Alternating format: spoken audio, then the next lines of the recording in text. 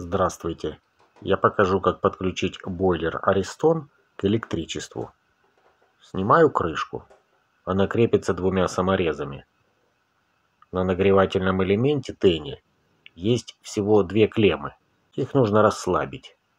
Выкручиваю винт заземления.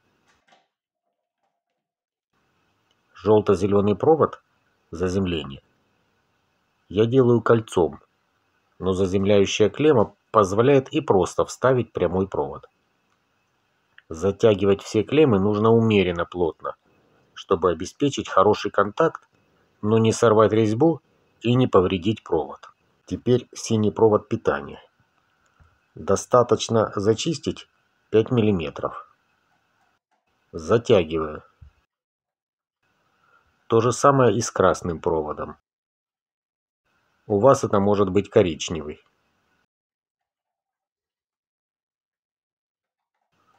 Проверяю, как он держится.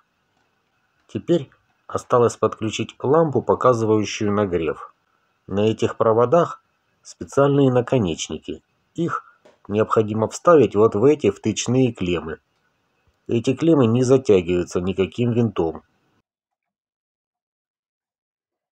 Устанавливаю ручку точно в среднее положение. Устанавливаю флажок на тене тоже точно в среднее положение. Теперь крышка сядет правильно в посадочное место. Щелчок при вращении рукоятки говорит о том, что она правильно передает вращение регулятору температуры. Осталось закрутить два самореза. Если видео вам понравилось, обязательно подписывайтесь на мой канал, ставьте лайки Следите за новыми видео и задавайте вопросы в комментариях. Спасибо. Пока.